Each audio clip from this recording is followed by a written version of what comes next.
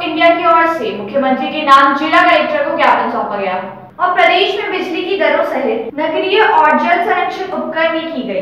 अनियमित वृद्धि को कम करने की मांग की। साथ ही कहा कि प्रदेश के कोटा, भरतपुर और भीलवाड़ा समेत कई अन्य जिलों में निजी बिजली कंपनी द्वारा आमजन का शोषण किया जा रहा है, जबकि राजस्थान देश के अन्य राज्यों के मुकाबले बिजली का अधिकतम उत्पादन करता है।